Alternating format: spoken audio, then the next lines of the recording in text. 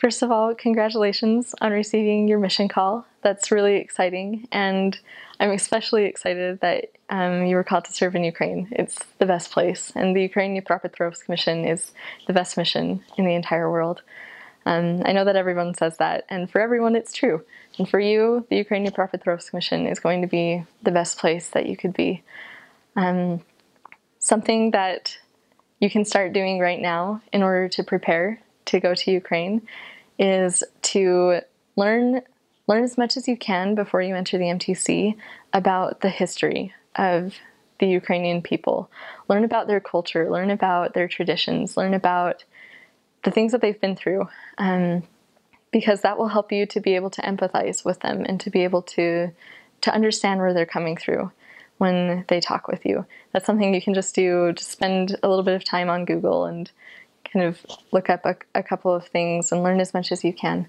Also, if you haven't done so already, make the decision right now to love the people of Ukraine. Um, start praying right now for your future investigators. Start praying right now for the members in the areas that you'll serve in.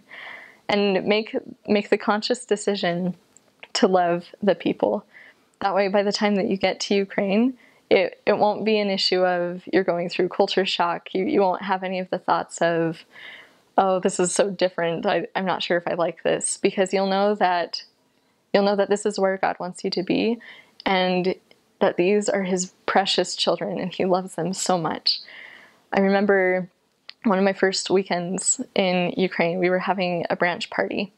Um, and I remember I was I was standing in the kitchen of our branch and I was spreading liver on these little slices of bread and I remember thinking, "Oh, this is not what I was expecting my mission to be like. I didn't think I would be standing in one place for an hour just, you know, getting ready for a branch activity. This isn't missionary work. I should be out contacting or teaching a lesson or something."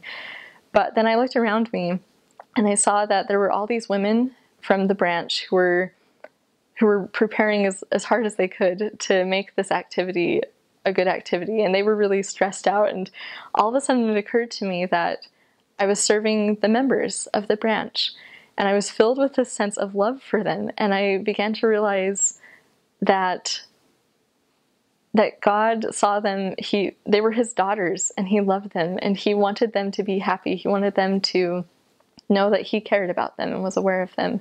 And even though I was just standing there in a little corner spreading liver on some bread I realized that I was helping him to show his love for them by showing my love for them. So if, if you make the decision right now that you are going to love the people with your whole heart, and that no matter what comes, you are going to find all that is good and all that is lovely and all the things that are in the 13th article of faith, you're going to find those things in Ukraine and with the people there, then you will be an even more powerful instrument in God's hands because the Lord works through love.